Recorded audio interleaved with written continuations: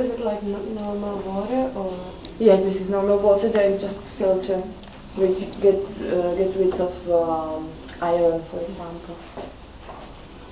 Because this uh, this basin is quite big, uh, so this machine uh, you put a lot of water inside and then it circulates, which is one good thing on this machine.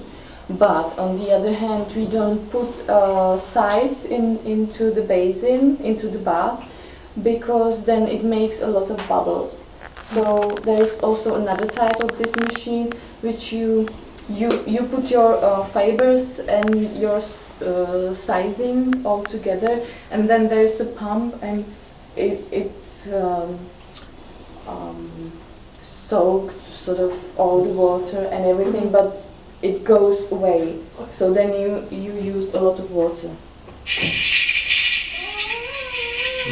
So now I need to position my pages. This this stick here, that's the only thing you are using. And the whole machine is connected with uh, air. It's uh, pressed air.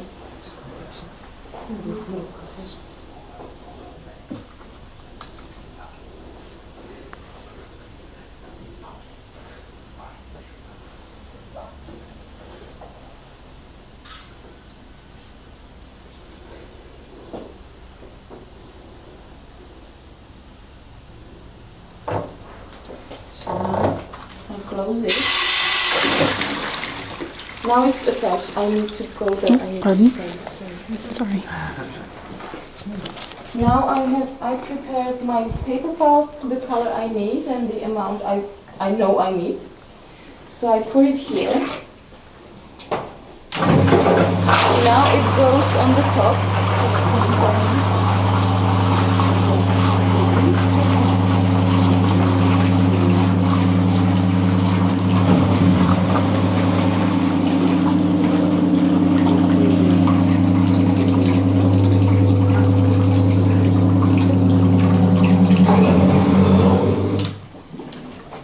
And now I, I will lift the inner basin.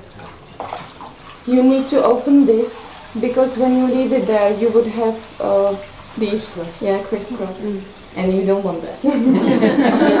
and the water with the, uh, with the paper fibers goes uh, into places wh- where there is hole, let's say. Plastic.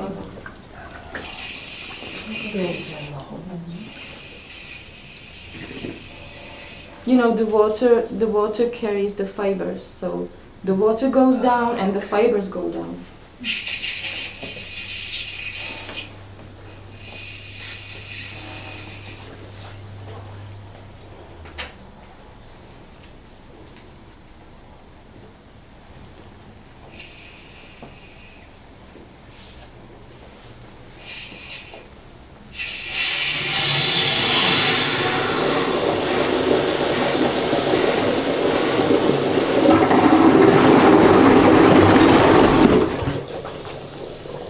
so now I need to take my sheet off but now it's very important to not to make uh, not to fall drop on the minute uh, paper because then it would make a crater and